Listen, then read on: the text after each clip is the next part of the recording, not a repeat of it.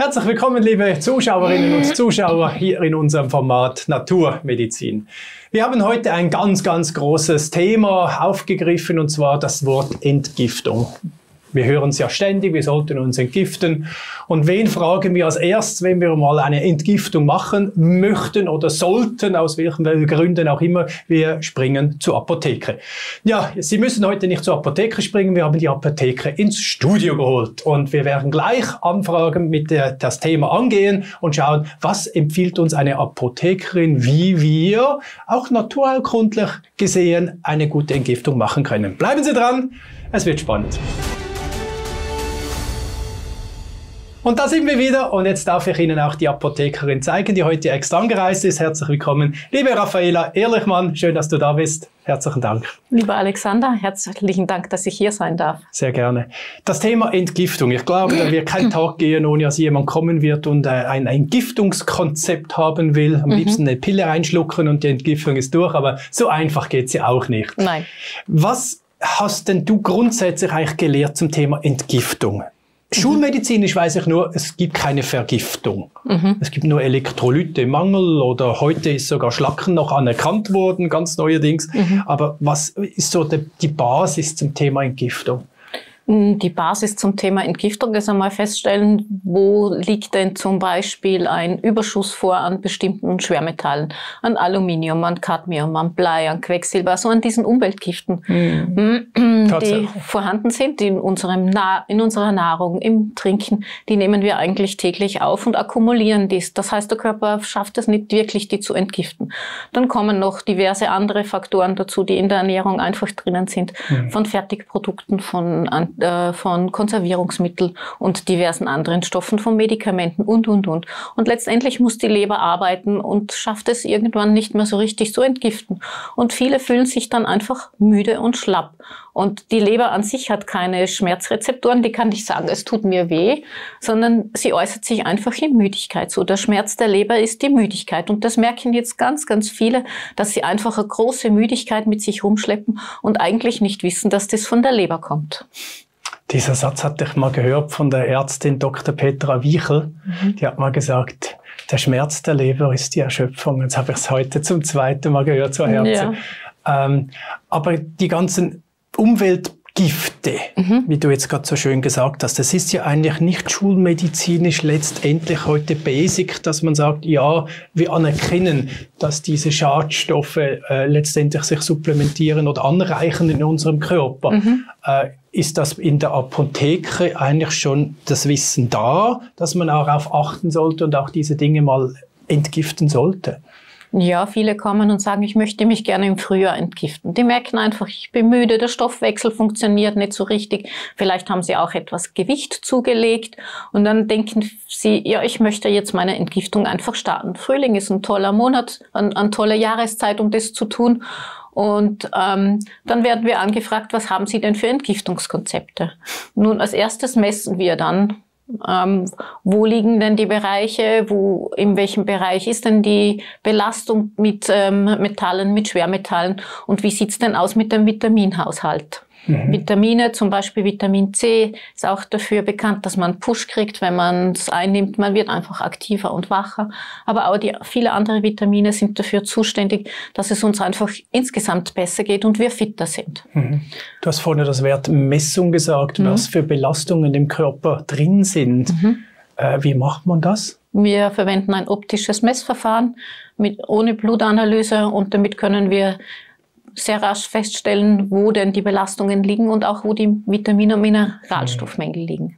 Gibt es noch Leute, wenn du die misst, die keine Umweltbelastungen oder Anreicherungsproblematiken im Körper drin haben? Ich habe noch keinen einzigen gefunden. Ja, das Bild läuft bei allen gleich durch. Hm. Mhm.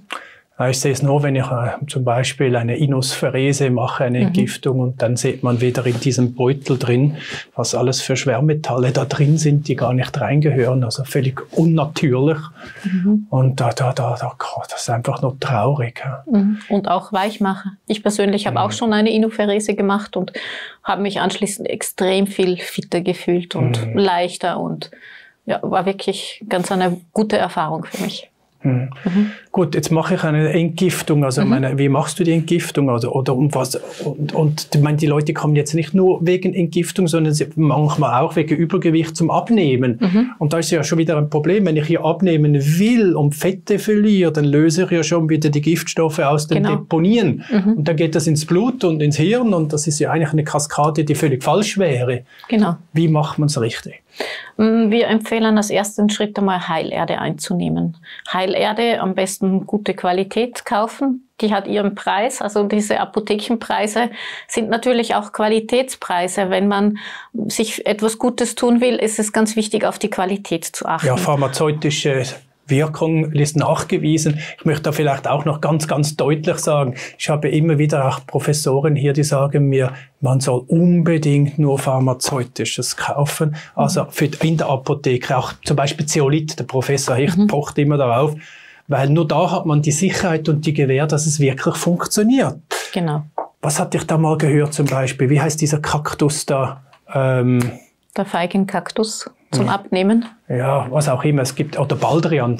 Baldrian im Großhandel oder Baldrian mhm. in der Apotheke. Mhm. Das eine wirkt, das andere wirkt nicht. Mhm. Aber der Ruf geht kaputt vom Baldrian, wenn man es im Großhandel immer wieder kauft und keine Wirkung hat. Mhm. Dabei hat es eine Wirkung, wenn es richtig gemacht wird. Mhm. Das habe ich gelernt durch diesen Professor Hans Rausch, der mal hier war und gesagt, bitte, bitte, bitte, macht nicht alles kaputt. Mhm. Die Wirkstoffe sind in Apotheken da.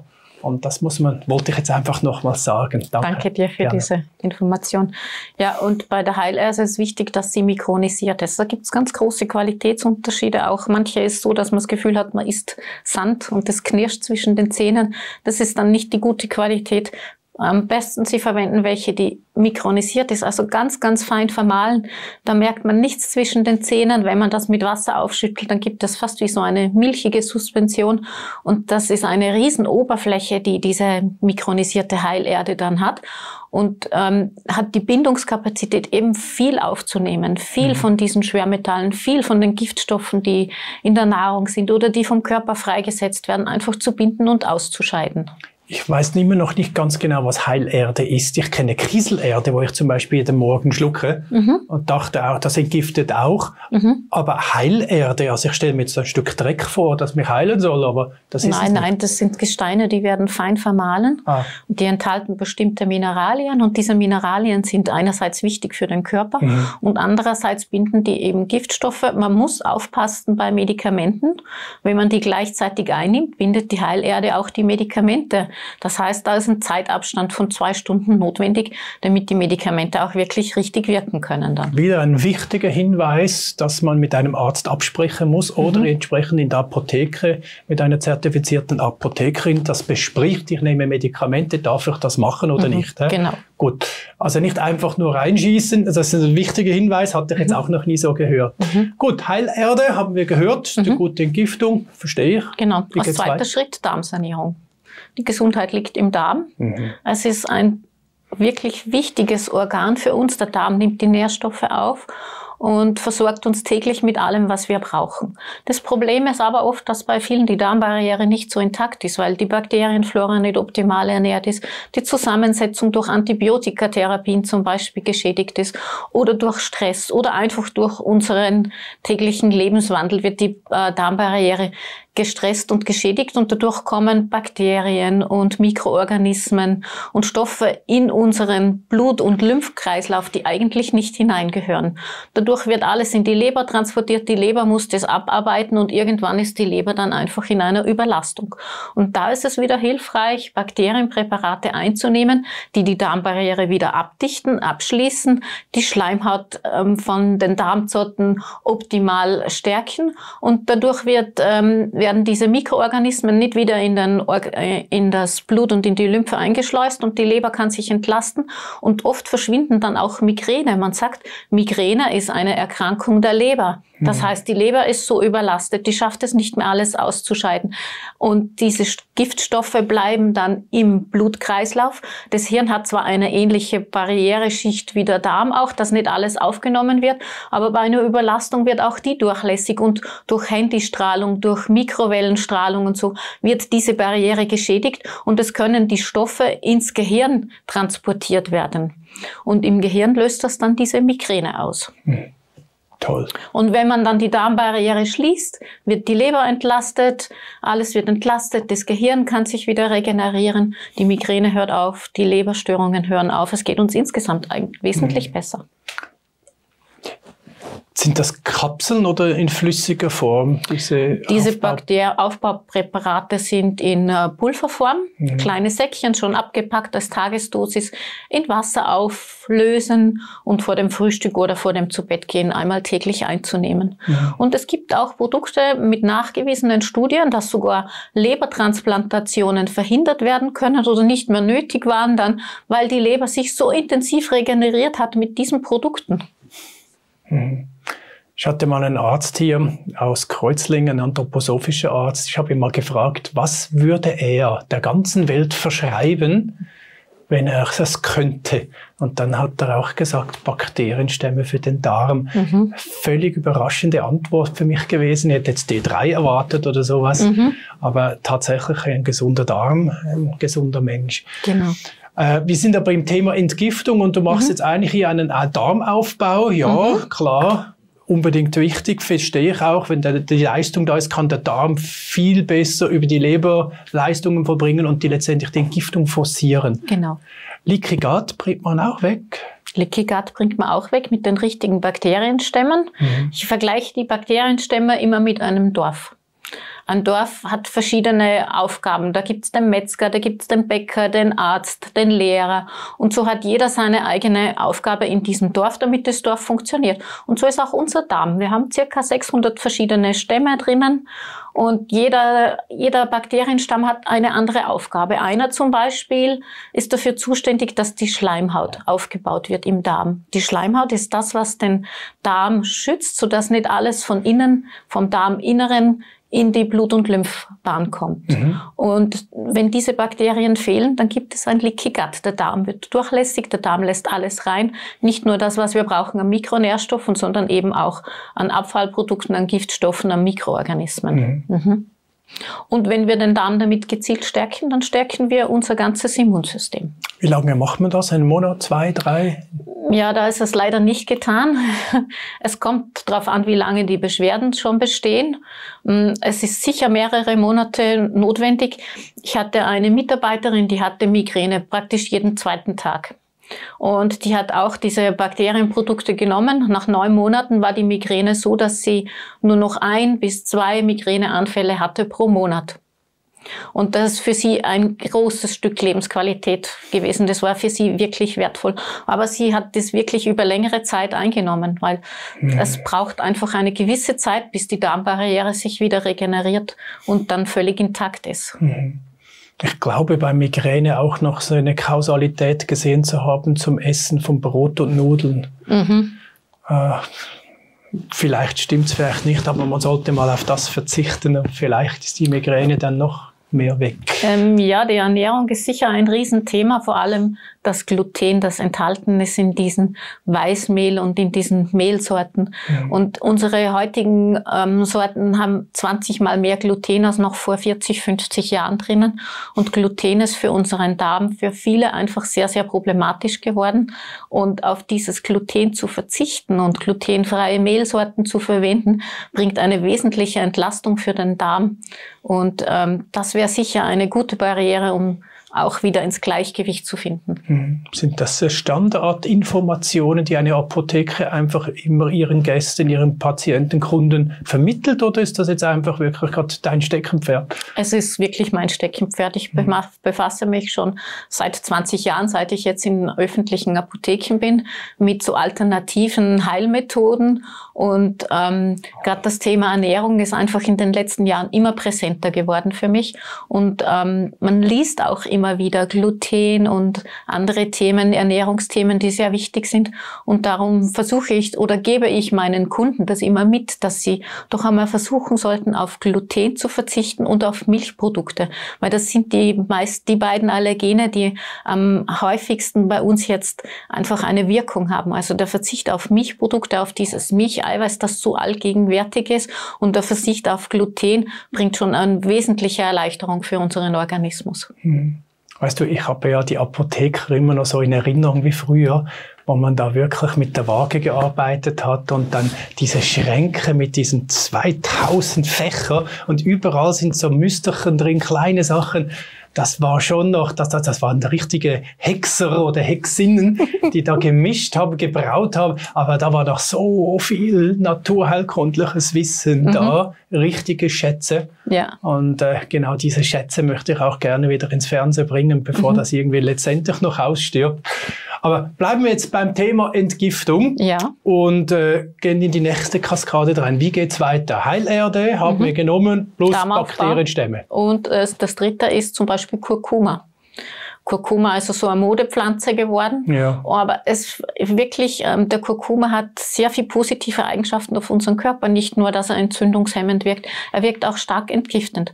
Ähm, das Thema beim Kurkuma ist immer die Aufnahmefähigkeit vom Körper. Der Kurkuma an sich ist fettlöslich und wird eher schlecht aufgenommen. Wenn man eine Prise Pfeffer dazu gibt, dann steigt schon die Löslichkeit um das 2000-fache. Ach Gott, nein.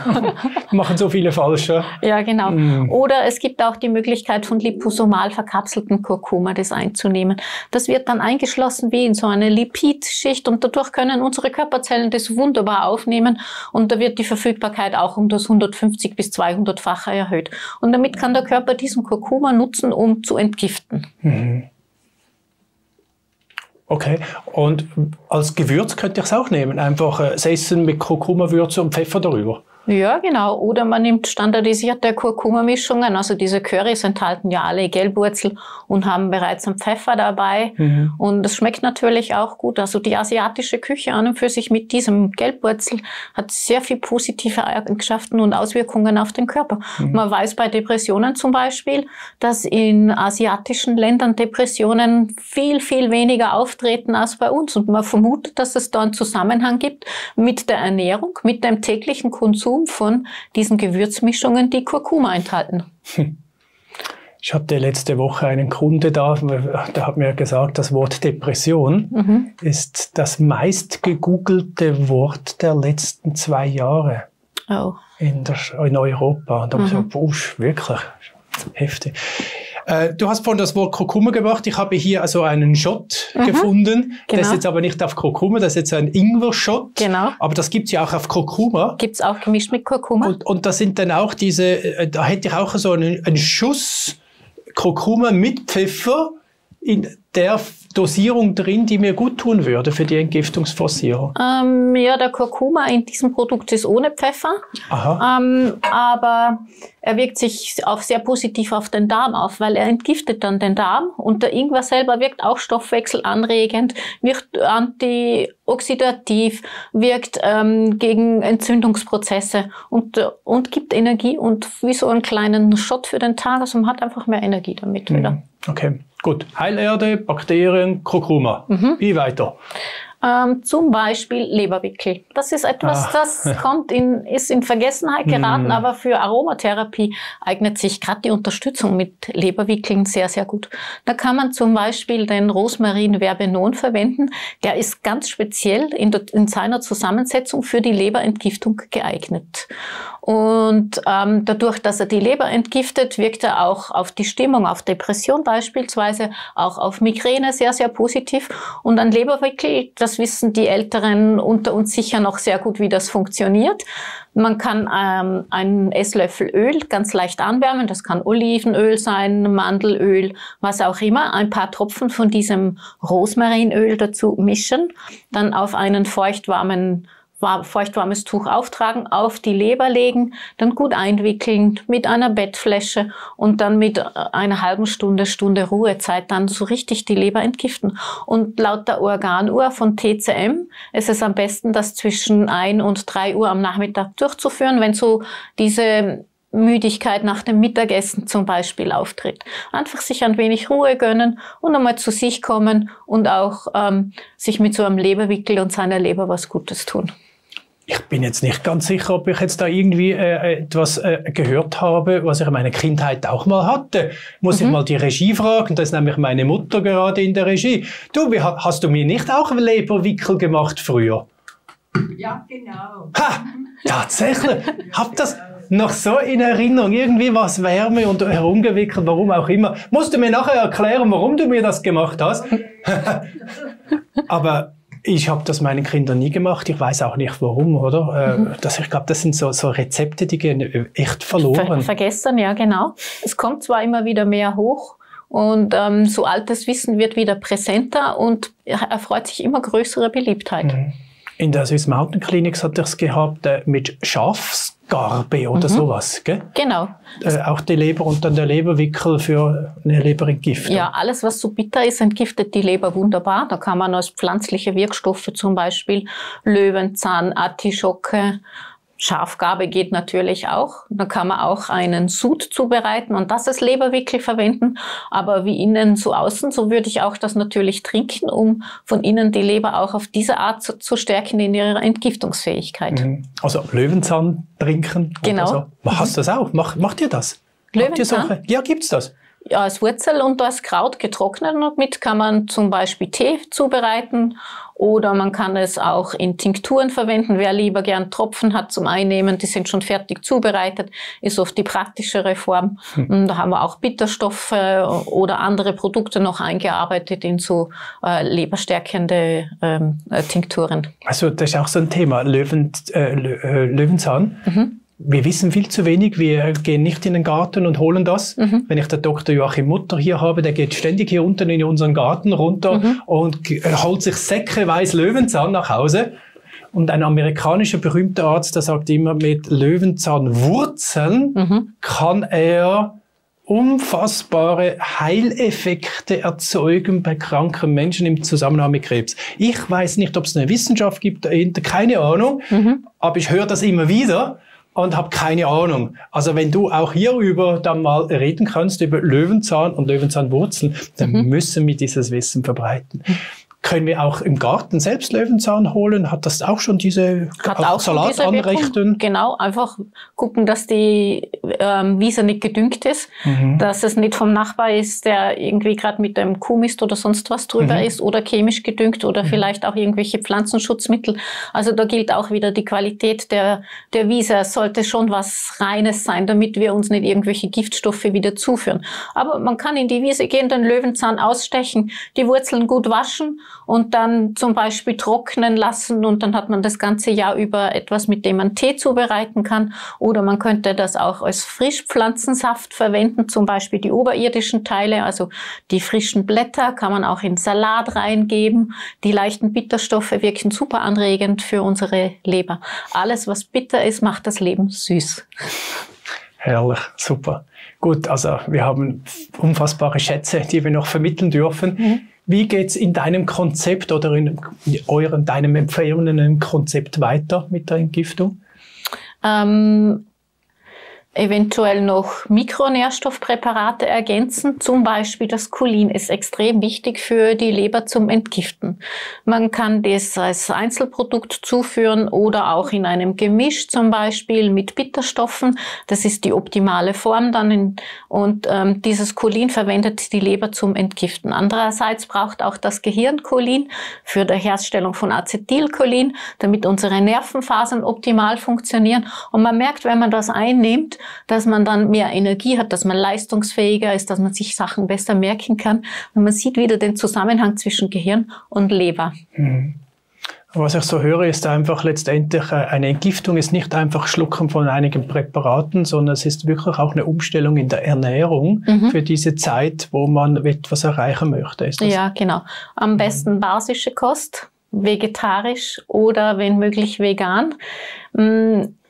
Ähm, dieser vegane Lebensstil hat einfach den Vorteil, dass der Körper viel weniger entgiften muss und dass er Mikronährstoffe erhält, die er braucht. Viel Magnesium, viel Kalzium, viel Begleitstoffe, die in den Pflanzen drinnen sind. Jede Pflanze ist ein Vielstoffgemisch und kein chemisches Produkt auf der Welt könnte dieses Vielstoffgemisch in dieser Vielfalt ähm, ersetzen oder auch nur annäherungsweise drankommen. Mhm. Und dieses Vielstoffgemisch von jeder einzelnen Pflanze ist so ungeheuer wertvoll für unseren Körper und die Ballaststoffe, die drinnen sind, sind wirklich wertvoll für den Darm, sodass die Darmflora wieder aufgebaut wird. Mhm.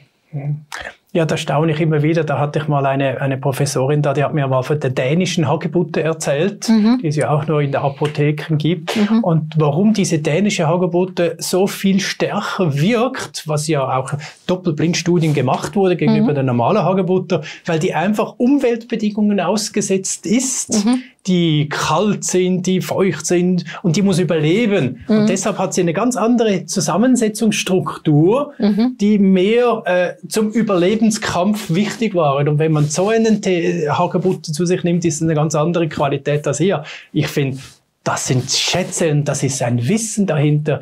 Es ist einfach nur ein Traum. Wenn man sich jetzt also mit so einem Entgiftungskonzept anfreunden will und das jetzt aber in Ruhe nochmals nachlesen möchte, wie so ein Konzept aussieht, ja, ich glaube, ja, eine Plattform nachzulesen ist sicher interessant, aber ich glaube, hier muss man schon Beratung haben, oder? Unbedingt Beratung. Jeder ist individuell, jeder hat andere Belastungen, jeder hat andere Anforderungen auch an seinen Tagesrhythmus, an seinen Lebensrhythmus. Deswegen ist es ganz wichtig, sich da hier wirklich beraten zu lassen. Hm. Also nicht einfach nur selber schnell Heilerde kaufen und ein bisschen das kaufen und das kaufen, mhm. und, sondern wirklich äh, in eine Apotheke gehen und sich beraten lassen und dann äh, so nach Plan etwas umsetzen und wenn es Nebenwirkungen gibt oder Reaktionen mhm. nicht erwünscht sind, kann man auch wieder nachfragen bei der Apotheke, ist das normal? Und, äh, und dann kriegt man beruhigende mhm. Informationen dazu. Sehr gut, genau. danke herzlich. Dankeschön. Liebe Raffaela Ehrlichmann, ganz herzlichen Dank für diese mhm. Erläuterungen und fürs Darlegen, dass wir noch viele Gesprächsthemen haben werden für Sie, liebe Zuschauerinnen und Zuschauer. Einfach mal diese Schätze, eben angefangen von Löwenzahn und Bitterstoffen und Wurzeln und so weiter und so fort. Das ist etwas, was mich einfach fasziniert, weil ich darüber überhaupt keine Ahnung habe, genauso wenig über einen Leberwickel eine Ahnung habe. Und äh, ich lasse das immer wieder professionell machen, natürlich durch Ärzte aber dass das sogar meine Mutter für mich gemacht hat. Ich glaube, das sind Wissensschätze, die einfach verloren gehen und wir sind gut beraten, uns damit wieder zu beschäftigen und vielleicht unseren Kindern mal einen Leberwickel zu machen oder eben ein Entgiftungskonzept. In diesem Sinne, herzlichen Dank fürs Zuschauen. Ganz herzlichen Dank nochmals, liebe Raffaele Ehrlichmann. Danke, dass du als Apothekerin bei uns bist und uns bereicherst. Ich wünsche Ihnen alles Gute. Bis ein anderes Mal und auf Wiedersehen miteinander.